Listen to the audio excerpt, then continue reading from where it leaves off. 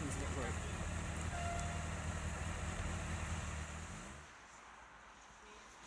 They're all off to sunny Spain.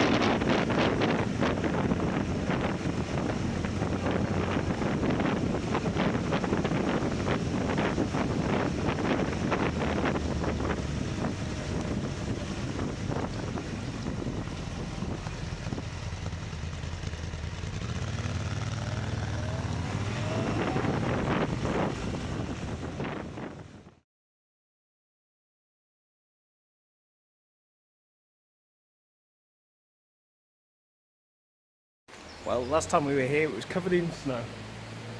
This time it looks a little better. So here's hoping for the first nice day of the whole trip. It's looking good up there.